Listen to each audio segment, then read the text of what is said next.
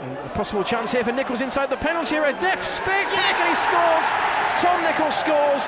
It's no problem for him at the moment. 14 goals now for the season. Just a long clearance. Nichols read it.